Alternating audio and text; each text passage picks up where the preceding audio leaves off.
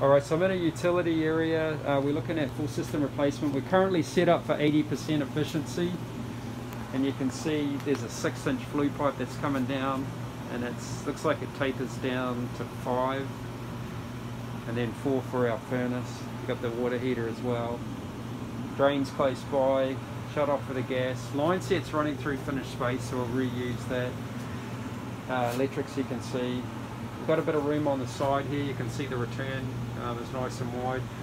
There is a humidifier that's tucked around the back. We've got about two feet of space in the back here. So basically what we want to do is uh, we want to take everything out, um, furnace on a base, uh, media filter, new return drop, um, it is a walkout situation and we do have ventilation grills. You can see that um, they've been cut in, so that's good. Uh, so we need some floor coverings down and then it is a walkout. And uh, we can get out through the store here. I'm going to have a look at the AC in a moment.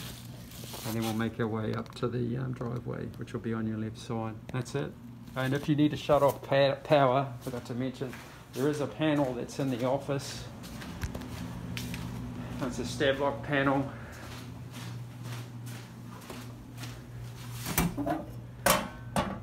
It's labeled, so if you need to shut off. That's it.